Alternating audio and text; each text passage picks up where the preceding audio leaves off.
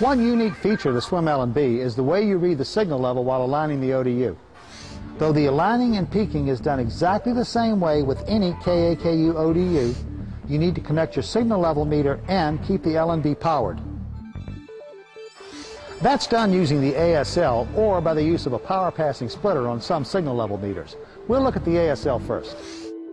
The ASL looks like a four-way splitter, but it's very different. The input port at the top is connected directly to the SWM LNB. The bottom left port is 18 volts out. The next port is power in. This is where the power supply cable is connected. You'll see the power ports all have red inserts in the connectors. The next port is labeled 119 and passes the signal from the satellite at the 119 orbital slot. The right bottom port is labeled 101 and it passes the signal from the satellite at 101 degrees. Here's how it works. Connect the input from the SWM LNB. Now connect the power from the power inserter. The power inserter has to be in line because the output voltage of your signal level meter isn't enough to power the LNB. Your meter has an 18 volt output and the LNB requires a minimum of 21 volts. Don't connect any receivers to the ODU until you've peaked it.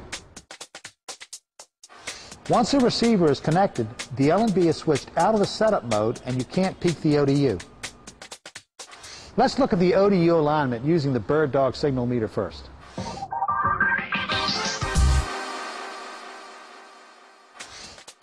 Connect the 101 port to the meter input. Press the arrow button to select DirecTV SWM 101. Now roughly align the ODU for maximum gain. Once you have the highest signal level, connect the jumper to the 119 port on the ASL and set your meter to read the 119 satellite. Now align the tilt. At this point, you have rough aligned the ODU. Move the jumper back to the 101 port on the ASL. Now you need to fine-tune it using the dithering process covered in the Ka/Ku ODU certification course. Follow the same dithering steps you would on any Ka/Ku ODU installation. Now let's look at the alignment using the AccuTrack Pro.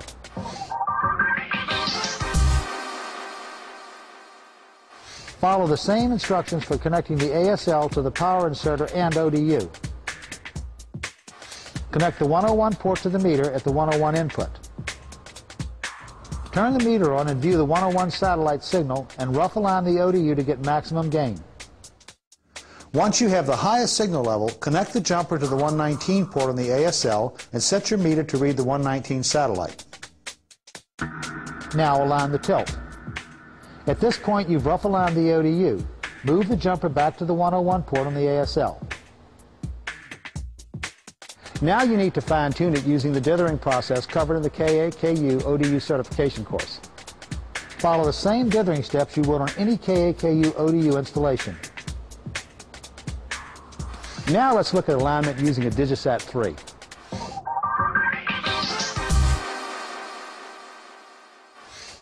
Follow the same instructions for connecting the ASL to the power inserter and ODU. Connect the 101 port to the meter at the input. Turn the meter on and view the 101 satellite signal and rough on the ODU to get maximum gain. Once you have the highest signal level, connect the jumper to the 119 port on the ASL and set your meter to read the 119 satellite.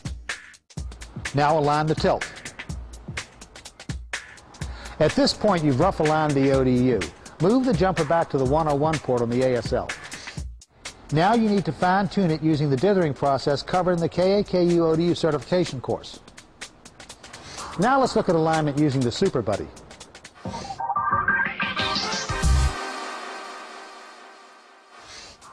Follow the same instructions for connecting the ASL to the power inserter and ODU. Connect the 101 port to the meter at the input. Turn the meter on and view the 101 satellite signal and rough align the ODU to get maximum gain.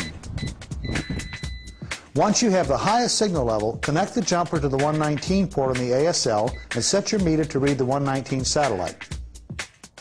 Now align the tilt. At this point, you've rough aligned the ODU. Move the jumper back to the 101 port on the ASL. Now you need to fine-tune it using the dithering process covered in the Ka/Ku ODU certification course.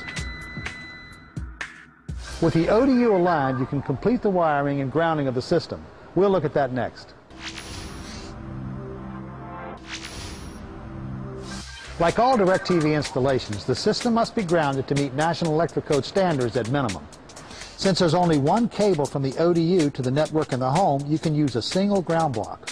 Remember, the ODU and the cable both need to be grounded.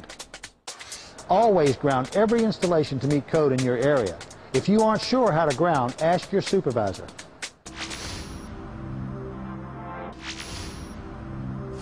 In order to make sure everything is working properly on each SWM installation, you'll need a SWM installation meter like this. The SWM meter verifies that each cable drop within the home can support the SWM's operation. When the power on button is depressed for two seconds, all LEDs will turn on. If all the LEDs don't turn on, the meter is not functioning properly and won't provide an accurate reading. Connect an IRD to an electrical power outlet. When using the SWM installation meter, don't unplug the SWM power inserter from the LNB anytime beyond this point. Power on the receiver. Now, force a software download by pressing 0, 2, 4, 6, and 8 on the remote control at the Hello screen. Complete the guided setup in the Automated Program Guide or APG download. Verify that you see video after the APG download. If you don't, check the cable run to the receiver. It may have an unwanted or substandard component in it, or you may have to repair or replace the cable and the connectors in that run. Now check each cable using the meter. Yeah. If everything is okay, all lights will be on. You can refer to the SWM meter troubleshooting chart you'll receive at the end of this session for the test results on each cable run. It'll let you know if the signals you need are getting to the receiver and if they aren't, what the problem might be. Now that you've made sure all the cable runs are working properly, you can start connecting the other receivers. We'll look at that next.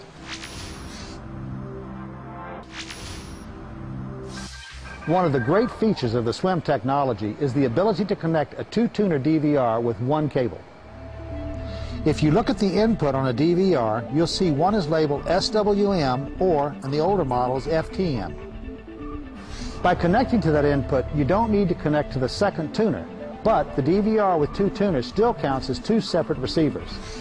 Remember, you can only operate eight tuners off the SWM LNB, and each DVR counts as two. Follow the same process as you connect each receiver. Connect the satellite input, connect all video and audio outputs, connect the phone jack, plug in the unit, and power it up after it's connected to the LNB. At the blue Hello screen, Force a software download by pressing 0, 2, 4, 6, and 8 on the remote control and the receiver will update to the most current software.